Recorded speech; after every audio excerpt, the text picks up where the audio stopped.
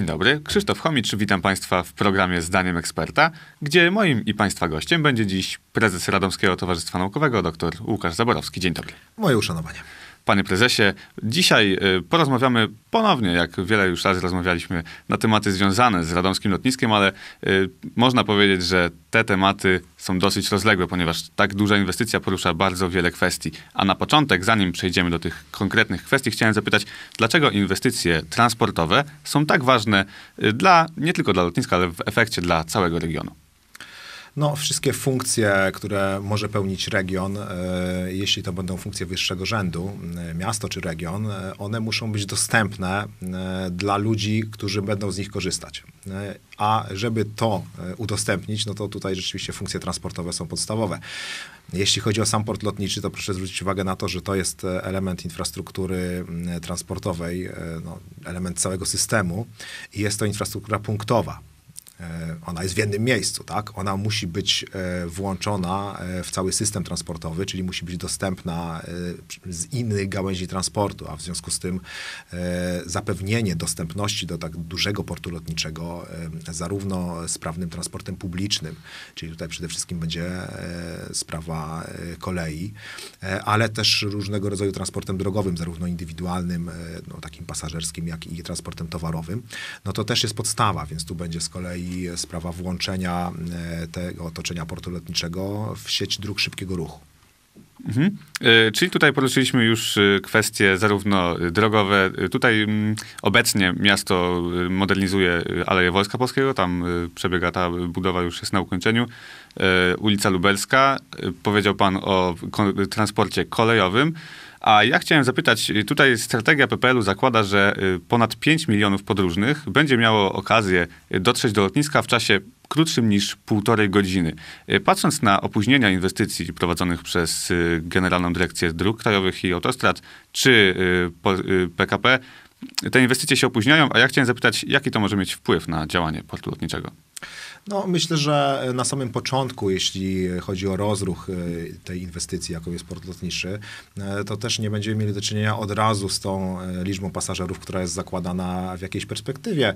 Zwłaszcza, że teraz rynek lotniczy będzie się dopiero odbudowywał po zarazie covidowej, więc wszystko jest opóźnione.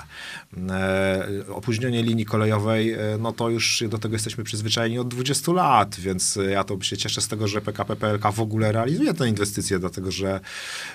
PLK to państwo w państwie i zmusić ich do czegokolwiek, żeby czy zmienili harmonogram, czy przyspieszyli, no to jest bardzo trudna rzecz, zarówno tak logistycznie, jak i, jak i politycznie. Więc e, tutaj przynajmniej się to dzieje, że przynajmniej e, jakieś prace trwają i nawet jeżeli to będzie jakieś opóźnienie, to zakładam, że ta linia kolejowa zostanie udostępniona. E, co więcej, możemy się tutaj spodziewać takiego scenariusza, jak w przypadku sąsiedniej linii kolejowej Lublin-Warszawa, gdzie e, też trwa remont, dopiero trwa modernizacja tej linii, a ona już jest częściowo udostępniona. E, I tam na przykład już jeżdżą pociągi pośpieszne Lublin-Warszawa. E, czy też Lublin-Radom, tak, tak samo, to już te, już, już te pociągi zostały uruchomione. Dla pociągów osobowych jest nadal komunikacja zastępcza. No ale jeśli chodzi o tę dostępność e, w przypadku portu lotniczego, no to tu najważniejsze znaczenie będzie miała komunikacja e, właśnie dalekobieżna, czyli pociągi pośpieszne. Więc można liczyć na to, że ta linia Warszawa-Radom będzie przynajmniej częściowo udostępniona już wtedy, kiedy nastąpi otwarcie portu lotniczego, bądź niedługo później. Dużo gorsza sytuacja jest, jeśli chodzi o drogi, jeśli chodzi o układ dróg ekspresowych. E, bo zwróćmy uwagę na to, że e, no w, tej, w tej chwili e, wstrzymano pracę na trasie S7, jakieś tam były problemy przetargowe czy inne, ale też jeśli chodzi o drogę S12, czyli tę równoleżnikową, która ma dawać dostępność do Radomia i do portu lotniczego i od strony Lublina i od strony Łodzi. To są bardzo ważne kierunki, a widzimy tutaj, że nic się nie dzieje. Co więcej, można odnieść wrażenie, że dyrekcja w tym wypadku oddział warszawski Generalnej Dyrekcji Dróg Krajowych, gra na to, żeby te inwestycje odsunąć w czasie bo e, jak można interpretować forsowanie wariantu przebiegu w okolicy Radomia, który jest niekorzystny dla wszystkich i przeciwko któremu wszyscy protestują. Czyli odsuwanie e, tej trasy od Radomia, co jest też bardzo niekorzystne dla portu lotniczego, bo no, chodziłoby o to, żeby dostęp do drogi ekspresowej od portu lotniczego był jak najbliższy. A tymczasem to, co proponuje w tej chwili e, Generalna Dyrekcja, to jest odległość jakieś 10 kilometrów. To jest strasznie daleko, pod Skaryszowem. Więc przebieg bliższy miastu byłby dużo korzystniejszy i dla lotniska, i dla miasta. A z tego co wiem, to również gminy podmiejskie wolałyby ten przebieg bliższy Radomiowi. Więc wszyscy chcą przebieg bliższy Radomiowi, a dyrekcja się upiera na przebiegu dalszym. E, po co to robi? No nie wiem, ja niestety mam podejrzenia, że po to, żeby było jak najtrudniej e, wywłaszczyć, jak najtrudniej się dogadać z wszystkimi podmiotami, które teraz będą musiały, nie wiem, te nieruchomości z nich ustąpić. E, I po prostu po to, żeby rzeczywiście te inwestycje celowo odsunąć w czasie, bo dzięki temu Warszawski Oddział Generalnej Dyrekcji może realizować więcej inwestycji w regionie warszawskim, na którym mu oczywiście bardziej zależy. Ja tylko przypomnę, że odcinek trasy S7 Radom Skarżysko-Kamienna e, powstał dlatego, że zabrano tę inwestycję z oddziału warszawskiego Generalnej Dyrekcji, a przyporządkowano ją do oddziału kieleckiego, któremu się okazało nagle zależało i, i zostało to zrobione. Więc ja myślę tutaj już troszeczkę wybiegając może też w inne rejony, e, no wiąże pewne szanse z tym, że jeżeli zostanie podzielone województwo obecne, to będziemy też mieli własny oddział e, Generalnej Dyrekcji Dróg Krajowych i może ten oddział wtedy będzie miał troszeczkę inne podejście, jeśli chodzi o sprawy przebiegu dróg ekspresowych tutaj w regionie radomskim. Właśnie chodziłoby o to, żeby ten e, radomski oddział ewentualny Generalnej Dyrekcji Dróg Krajowych i Autostrad bardziej stawiał na te inwestycje tutaj w regionie, tak? No oczywiście, no taka, jest, taka jest niestety praktyka w Polsce, że każdy, każde miasto wojewódzkie, mając swoje instytucje, zabiega głównie o swoje dobro. Nie, nie, nie, nie mówię, że to jest dobrze i że tak powinno być, ale, no, ale tak po prostu jest. I dopóki my nie będziemy mieć tego statusu e, najważniejszego miasta e, w województwie, największego miasta, e, to prawdopodobnie będziemy traktowani tak jak dotychczas. Panie prezesie, przejdźmy obecnie teraz do inwestycji miejskich. Ja chciałem zapytać, czy pana zdaniem obecnie w Radomiu te, czy wizja rozwoju miasta y, jest prowadzona w sposób, który odpowiada na te szanse, które da lotnisko? No, to jest pytanie bardzo szerokie. Najważniejsza rzecz, jaką teraz powinniśmy zrobić jako miasto w, no, w tej bliższej perspektywie, optymalnie, gdyby to się udało przed jeszcze roz, otwarciem lotniska albo wkrótce po, to są plany miejscowe dla dzielnicy pomiędzy portem lotniczym a śródmieściem. To jest jakby taka najbardziej realna i wymierna rzecz, jaką powinno zrobić miasto. Co więcej, to jest to, co ściśle rzecz biorąc leży w obowiązkach gminy miejskiej po prostu, tak? czyli tworzenie właśnie planów urbanistycznych. E, dlaczego to jest takie ważne? No po prostu dlatego, że e, my jakiegoś nacisku inwestycyjnego i tak możemy się spodziewać. Już powstają inwestycje, które należy wiązać z e, budową portu lotniczego i teraz rzecz jest w tym, żebyśmy my te inwestycje uporządkowali przestrzennie żeby nie było tak, że to inwestorzy będą sobie decydować, co ma gdzie powstawać, ponieważ to prowadzi do chaosu przestrzennego i nie tworzy mm, dobrej tkanki urbanistycznej, czyli nie wykorzystujemy tej możliwości, jaką jest przypływ pieniędzy do Radomia, po to, żeby tworzyć dobrą przestrzeń miejską.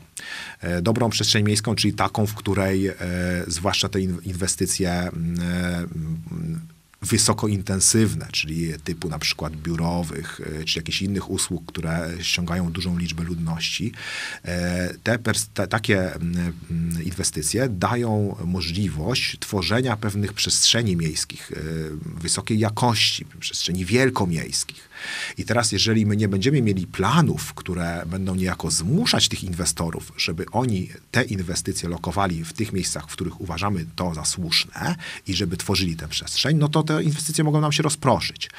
To jest bardzo niekorzystne, bo po co mają powstawać inwestycje, które mogłyby wnosić jakąś wartość urbanistyczną, yy, na przykład wśród jakichś blaszanych yy, budynków w strefie przemysłowej, albo jeszcze co gorsza yy, w gminach podmiejskich.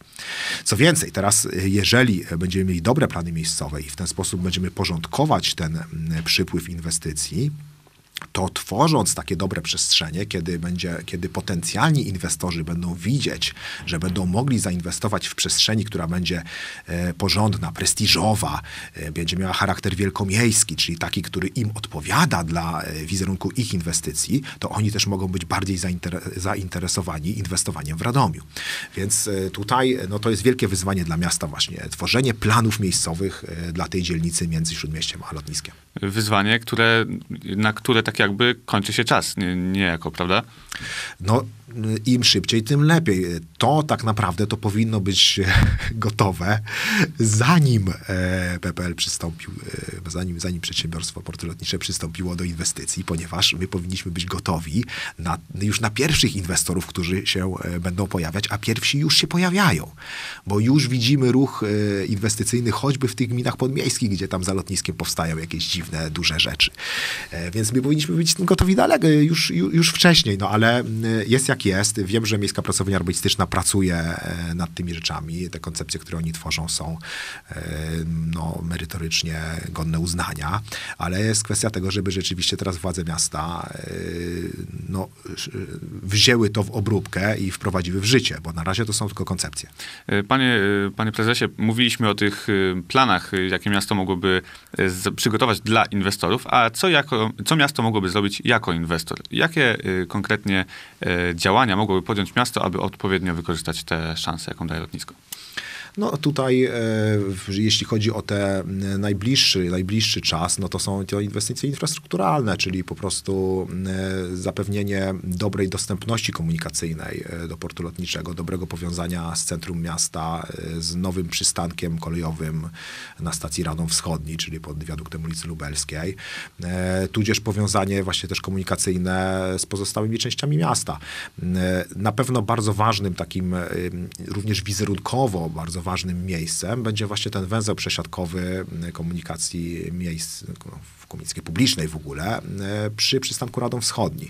Tam e, według według wszelkiego prawdopodobieństwa tam się będą zatrzymywać pociągi wszystkich kategorii, czyli nie tylko osobowe, jakieś podmiejskie pociągi, ale też pociągi pośpieszne.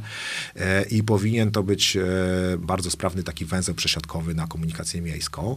E, no proszę zwrócić uwagę na to, że to miejsce to będzie miejsce pierwszego kontaktu użytkownika portu lotniczego e, z miastem i do, w jakimś stopniu być może jedynym miejscem kontaktu, tak? bo większość prawdopodobnie dokona tej przesiadki i pojedzie w stronę portu lotniczego. No oczywiście to jest w porządku, tak? ale tutaj y, od jakości tego węzła zależy nie tylko sprawność tego przemieszczania się, ale też wizerunek, jaki Radom będzie posiadał. Co więcej, tak jak wspomniałem, y, ta przestrzeń między y, właśnie w otoczeniu tego nowego przystanku stacji kolejowej będzie miała, to, to, taka będzie strategiczna lokalizacja. I teraz, jeżeli my jako miasto stworzymy tam e, pewną prestiżową przestrzeń, funkcję komunikacyjną, jeżeli ten, e, to, centrum przesiadkowe będzie robiło wrażenie jako coś wielkomiejskiego, to możemy się spodziewać, że będzie z kolei e, potencjalnie większe zainteresowanie inwestorów, którzy będą chcieli przyjść z jakąś prestiżową inwestycją. Więc na początek to jest to. E, druga rzecz to jest myślenie w ogóle nad sposobem, środkiem transportu, który będzie łączył lotnisko z centrum miasta. No, obecnie mówi się o autobusie. Z kolei inwestor, jeśli chodzi o porty lotnicze, oni z tego co wiem, e, chcą stworzyć taki, taką dodatkową obsługę wahadłową, e, specjalną dla, dla portu lotniczego. Ja myślę, że lepszym sposobem jest po prostu obsługa komunikacją miejską, bo ona daje, e, pozwala zapewnić i większą częstość obsługi, a to jest najważniejsze dla pasażera, i daje jednocześnie dostęp nie tylko do lotniska, ale też, też do centrum miasta, czy też do innych dzielnic. Ale to jest jakaś tam sprawa do dyskusji. Natomiast no, perspektywicznie myślimy w Radomiu o komunikacji szynowej, miejskiej komunikacji szynowej. Przecież sprawa tramwaju już leży odłogiem od dziesięcioleci wręcz. Ja nie mówię, że akurat kierunek portu lotniczego jest tą, tym pierwszym kierunkiem, w który należałoby inwestować, e, jeśli chodzi o komunikację tramwajową. Chyba, że podejdziemy do tego, e, tak jak podchodzą do tego miasta francuskie i e, będziemy traktować e, tramwaj jako środek raz, że odnowy urbanistycznej, a dwa, właśnie podniesienia wizerunku pewnych przestrzeni, na które chcemy zwrócić uwagę inwestorów i które chcemy dowartościować. I teraz, jeżeli my byśmy rzeczywiście myśleli o planach inwestycyjnych, no powiedzmy planach miejscowych, które by tworzyły taką dzielnicę o, częściowo o charakterze wielkomiejskim właśnie w osi ulicy Lubelskiej, to może by powinniśmy się zastanowić, czy nie, czy nie warto właśnie zastosować e, dobrego wizerunkowo środka transportu, jakim jest tramwaj, do połączenia centrum miasta z lotniskiem. Panie prezesie, tutaj też e, znowu wspomniał pan o jakichś przykładach, na których Radom może się wzorować. E, ostatnio w tym programie mówił pan konkretnie o Tallinie, stolicy Estonii, a ja chciałem zapytać, czy w Polsce możemy zobaczyć jakieś takie przykłady, z których Radom może czerpać inspirację? Tak dobrych jak Tallinn, moim zdaniem nie, e, ale e, są przykłady. Zwróciłbym uwagę na Rzeszów. Rzeszów jest miastem w ogóle podobnej wielkości do Radomia. Nawet jest trochę mniejszym miastem od Radomia. Aglomeracji powiedzmy podobnym. Jeśli chodzi o lotnisko w Rzeszowie, jest to lotnisko powiedzmy średniej wielkości. I nie należy się spodziewać, że e, rozwinie się nie wiadomo jak e, w jakiś, jakiś większy port lotniczy, co akurat w Radomie mamy taką perspektywę. E, różnica jest taka, że lotnisko w Rzeszowie jest odległe co najmniej dwa razy więcej od miasta niż, niż lotnisko w Radomiu. E, jest położone właściwie poza miastem, całkowicie poza miastem. I to z urbanistycznego punktu widzenia, to oczywiście ma zalety funkcjonalne pewne dla samego lotniska, ale z punktu widzenia urbanistycznego to, to, jest, to nie jest korzystne. To, to my mamy, mamy lepsze perspektywy rozwoju urbanistycznego ze względu na, na właśnie tę bliskość. Ale e, dlatego, dlatego pod względem urbanistycznym to nie jest dla, dla Radomia wzór. E, natomiast pod względem e, funkcjonalnym, czyli to, co powstało wokół lotniska w Rzeszowie, albo też w związku z lotniskiem w Rzeszowie, to jest bardzo ciekawe. E, na to warto zwrócić uwagę. E, no, na, co, na co przede wszystkim chciałbym zwrócić uwagę? To na to, że właściwie wszystko, co tam się zadziało wokół lotniska takiego większego, jeśli chodzi o sferę publiczną, to są przedsięwzięcia miejscowego samorządu województwa.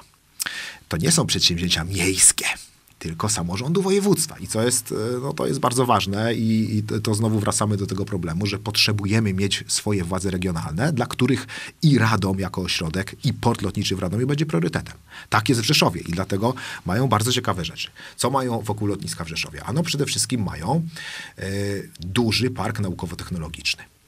Oni to nazwali Aeropolis. Nazwa też jest ważna. Więc ten duży park technologiczny e, we współpracy z miejscowymi uczelniami. E, no na czym to polega? No, no tak jak to park technologiczny. Jest najpierw preinkubator mm, przedsiębiorczości, gdzie ktoś ze swoimi pomysłami na jakieś przedsięwzięcie gospodarcze przychodzi i tam eksperci już mu pomagają w ogóle z tego wykuć jakiś realny projekt. Potem mamy inkubator, czyli takie miejsce, gdzie ktoś może zacząć działalność przy odpowiednim wsparciu, e, gdzie dostaje wsparcie lokalowe, eksperckie i tak. No i potem mamy też ogromne tereny inwestycyjne, gdzie ci, którzy wyjdą z tego inkubatora, bądź też e, przedsiębiorcy z zewnątrz, no przychodzą na gotowe uzbrojone grunty. Tam mają 170 hektarów gotowych uzbrojonych gruntów do wzięcia. Oczywiście część już jest wzięte, tak? To jest trochę mniej, ale to właśnie o to chodzi. E, więc to jest ten e, park naukowo-technologiczny. I to jest przedsięwzięcie zapoczątkowane kilkanaście lat temu, dokładnie przez samorząd województwa i sfinansowane w ogromnej większości przez, e, z programu operacyjnego Polska Wschodnia. To podkreślam, no, który Radom się oczywiście nie załapał z wiadomych względów. E, dalej, co tam jest obok tego parku e, technologicznego? No, obok jest ogromne centrum kongresowo-wystawiennicze, które też zostało zbudowane przez samorząd wojewódzki. To jest to centrum wystawiennicze, w którym się odbywa takie wydarzenie Polska 590 jedno z największych takich kongresów gospodarczych w ogóle w Polsce i on się odbywa pod Rzeszowem. No dlaczego akurat pod Rzeszowem się odbywa? No po prostu dlatego, że tam zainwestowano w infrastrukturę, która może to przyjąć, bo to jest rzeczywiście jest ogromna e, przestrzeń i wystawiennicza, tam mają 12 tysięcy metrów e, kwadratowych w ogóle przestrzeni wystawienniczej. Mają taką wielką salę konferencyjną na prawie 900 osób. Więc no, infrastruktura, która cały czas w Polsce jest dość konkurencyjna, bo nie wszystkie miasta to mają. No i oni to tam zbudowali. Teraz kolejna rzecz, która tam powstaje, również za przyczyną e, samorządu województwa, to jest Centrum Nauki. Centrum Nauki Łukasiewicz powstaje przy lotnisku e, pod Rzeszowem za kolejne 100 milionów złotych. Oczywiście też finansowanie będzie z jakichś tam środków zewnętrznych, e, unijnych. Ale to jeszcze nie, jeśli mogę jeszcze coś dodać, bo to jest jeszcze jedna jest jeszcze mocniejsza rzecz, jeśli chodzi o koszt przynajmniej. Otóż w Rzeszowie jest teraz e, wykonywany projekt tak zwanej podmiejskiej kolei aglomeracyjnej. Czyli, krótko mówiąc, samorząd województwa, który jest organizatorem transportu publicznego w skali regionalnej, takim czymś musi się zająć samorząd województwa, bo miasto nie może tworzyć na przykład kolei podmiejskiej, bo nie jest organizatorem na tym terenie. Na tym organi organizatorem jest samorząd województwa. I oni tam taki projekt wykuli sobie, który jest warty no, jakieś tam chyba 350 milionów, z czego oczywiście większość mają dofinansowania zewnętrznego. W ramach którego robią taką ofertę kolejową e, ruchu podmiejskiego czy też aglomeracyjnego w promieniu tam powiedzmy 30 km od Rzeszowa. Tam jest taki sam układ jak, jak linii jak w Radomiu, też, też skrzyżowy układ północ-południe, wschód-zachód i do sąsiednich tam miast, takich jak u nas typu powiedzmy Szydłowiec i e, Łża, tam Przysłucha, będą jeździć pociągi co pół godziny, w takcie co pół godziny. E, w ramach tego projektu zostaną e, wyremontowane przystanki kolejowe w całym tym obszarze, zostaną e, przy tych przystankach stworzone parkingi, takie i dla samochodów, i dla rowerów. Zostanie wybudowanych kilkanaście nowych przystanków kolejowych w ramach uzupełnienia tej sieci dla ruchu podmiejskiego. No i co jeszcze bardzo ważne, powstanie nowa linia kolejowa długości 5 km, która będzie dochodziła prosto do terminala właśnie tego sportu lotniczego.